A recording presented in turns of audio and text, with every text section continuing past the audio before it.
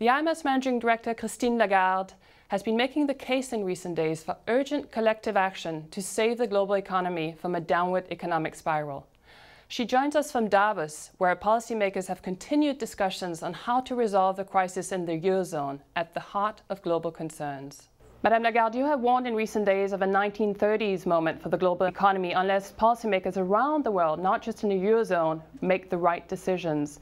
Based on your recent interactions with policymakers, including in Davos, how confident are you that that will happen? Well, leaders are responsible for making sure that uh, their jurisdictions, their country, their region, but also the global community uh, does better and actually can manage through the crisis.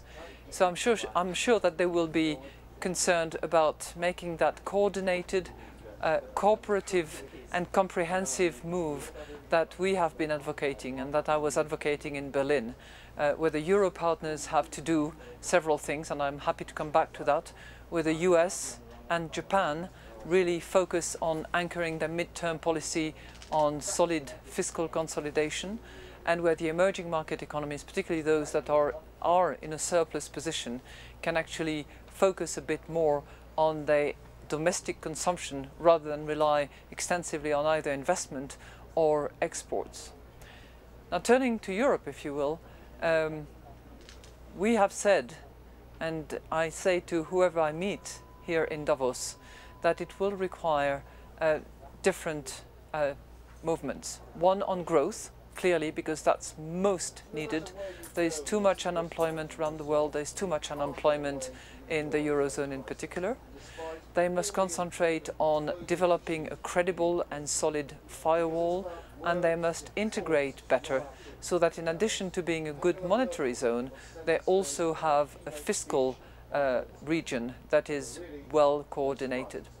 Now on growth for the Eurozone, uh, we mean several things. We mean a, a good, sensible, tailor-made fiscal policy that is predicated on fiscal consolidation, compulsory in some corners, more uh, slow in those countries that have fiscal room.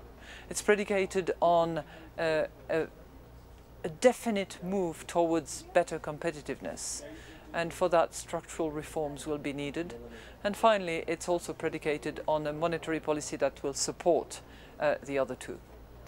Now, staying with Europe, uh, one development that continues to unsettle financial markets is the ongoing debt restructuring talks involving Greece. To what extent do you think uh, the outcome in Greece will determine the overall outcome in the Eurozone? The outcome in Greece uh, will result from collective efforts. Uh, it will require clearly deliverable adjustment by the country. It will require the private sector involvement, significant and substantial, and it will probably require official support. Official support has already uh, been delivered uh, in the in the past. Clearly, there is a program underway, but all of that will have to come together and probably be updated in the face of these new economic developments that have affected the country.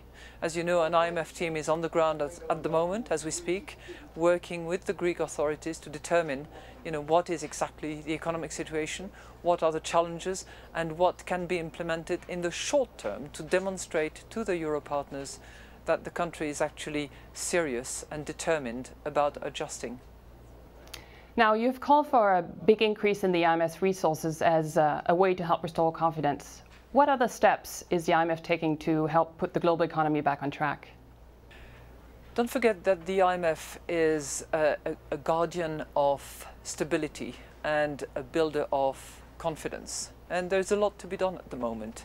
Uh, there's a lot to be done and we probably need more, uh, more funding to be able to respond to a time of crisis. That's the reason why we have started negotiating, discussions, exploring options uh, with our membership at large, uh, because it is our membership at large that we care for. So we're not raising funds for the purpose of funding the euro area uh, exclusively. We are in the uh, raising fund exercise for the benefit of the entire community, just in case there were collateral damages, just in case there were spillover effects uh, arising out of the crisis in the Eurozone. Madame Lagarde, thank you very much. My pleasure.